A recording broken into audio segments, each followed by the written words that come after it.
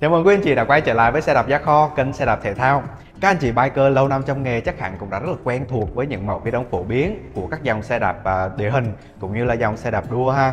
Nhưng mà đối với những anh chị mới biết tới bộ môn này thì chưa chắc đã phân biệt được hết đâu ha.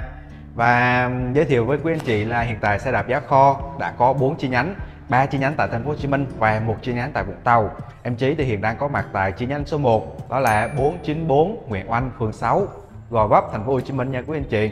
Video ngày hôm nay thì em chỉ sẽ giới thiệu với quý anh chị những cái mẫu ghi đông phổ biến trên dòng xe đạp địa hình, cũng như là dòng xe đạp đua đang có sẵn tại xe đạp giá kho cho quý anh chị thì phạm.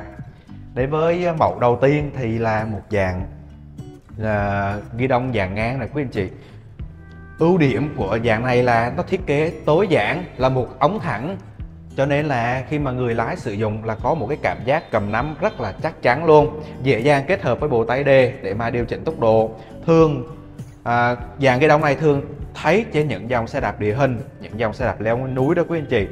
Và nhược điểm lớn nhất của mẫu này đó là chiều dài à, nó hơi hơi nhiều dao động từ khoảng 680 cho tới 740 mm cho nên là khi mà người lái sử dụng lâu thì có cái tình trạng là mỏi tay hoặc là mỏi vai. Và khi mà sử dụng cái đống này thì à, người lái cũng hơi cong nhẹ người về phía trước một xíu nha quý anh chị. Và thêm một cái ưu điểm nữa là giá thành tương đối rẻ nha quý anh chị. Ok luôn. Rồi một uh, dàn ghi đông thứ hai là dàn ghi đông cánh én. Thiết kế tương tự như ghi đông dàn ngang nhưng mà có phần cong lên một xíu khi mà người lái sử dụng mẫu ghi đông này thì uh, cái tư thế ngồi á quý anh chị nó sẽ thẳng hơn thẳng hơn dàn ghi đông ngang.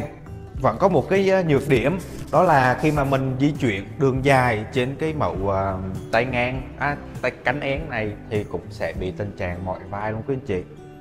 Nhưng mà mẫu ghi đông này thì theo anh chị đánh giá rất là đáng trải nghiệm quý anh chị. Đó, ngồi lái nó sẽ thẳng hơn nha. Giá thành thì cũng tương đối thôi. Rồi tiếp theo là một dàn ghi đông cong thường được thấy trên những dòng xe đạp đua quý anh chị. Đặc trưng của loài ghi đông này là phần trung tâm được nối với thân này quý anh chị. À, phần đầu nó hướng về phía trước hoặc là hướng về phía sau. Điểm cộng lớn nhất của mẫu ghi đông này là nó tạo cho người lái một cái tư thế à, chạy xe thoải mái nhất. Với cái khả năng là kháng cự gió và có một cái tư thế ngồi nó khí đồng học hơn. Đó, kháng cự gió rất là tốt luôn quý anh chị bốn cái phanh khi mà mình à, không thích à, cầm lái ở đây thì mình có thể chuyển lên chỗ này. Mình cầm lái ha. Một dòng xe đạp đua phổ thông với ghi đông cong.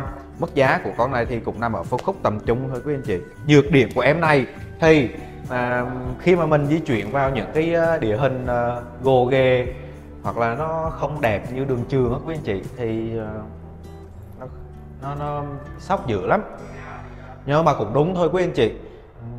Tại vì cái dòng này nó không thích hợp để đi những cái dạng cái dạng địa hình đó.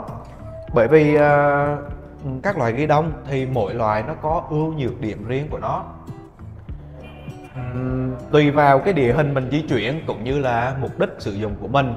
Và cái nhu cầu bản thân của mình thì mình có thể là lựa chọn một cái mẫu ghi đông phù hợp với bản thân. Xe đạp đua thì uh, đi ở trong những cái địa hình xấu thì sót xe lắm quý anh chị. Mẫu cuối cùng nữa đó là ghi đông uh, vàng ngang cải tiến hơn một xíu và có thêm hai cái sừng hai bên nữa.